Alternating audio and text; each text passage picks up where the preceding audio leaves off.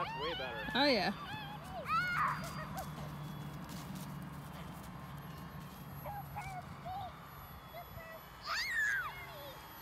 Got a leaf stuck to it.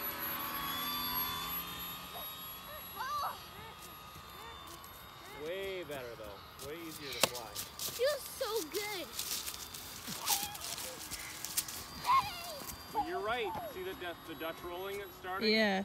It's starting to tip, so. But um, those floats on the edge don't help with that.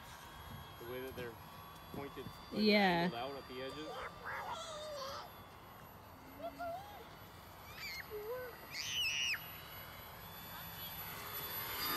Oh. I didn't think I would have to fly it with rudder, but you do. Huh. You have to kick the rudder over as you turn it. So that's pretty interesting. It still looks like a flying lobster or a flying wrench. Should paint it red. so much better with a CG forward though. It's like Yeah. super stable now.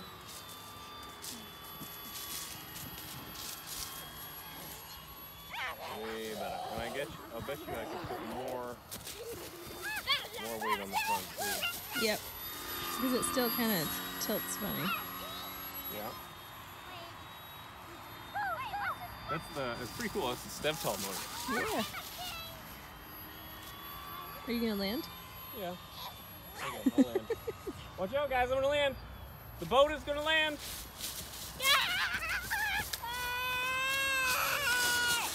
How about that?